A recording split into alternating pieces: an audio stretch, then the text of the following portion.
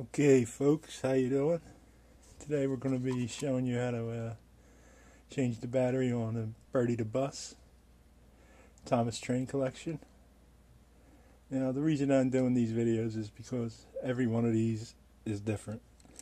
Now Bertie, he's a bus, so he's smaller than the rest of the Thomas trains. But uh, yeah, he's probably the easiest one to change. He only has one screw here most of them have three or four screws. Well, the telltale is this arrow here. That's telling you that's the screw to use to change the battery. So we're just going to loosen this up.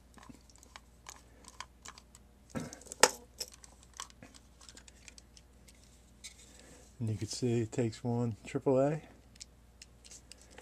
Screw stays in there. It's got a little clip on it keep it from sliding out.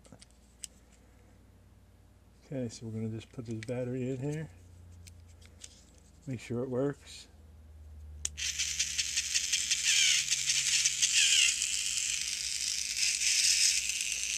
Sounds good. Looks like it's working.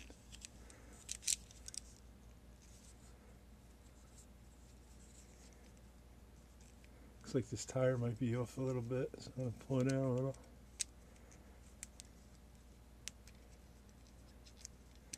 That could happen with them.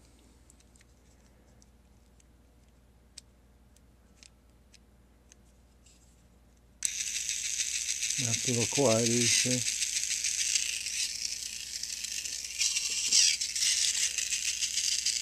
Okay. So now we know this is the front. We're going to hook this back part in in the hole, pop it on.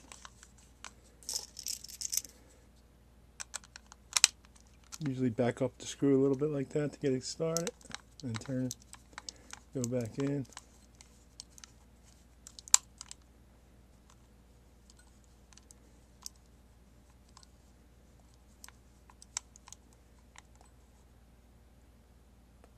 Making sure not to over tighten it. And there we have it.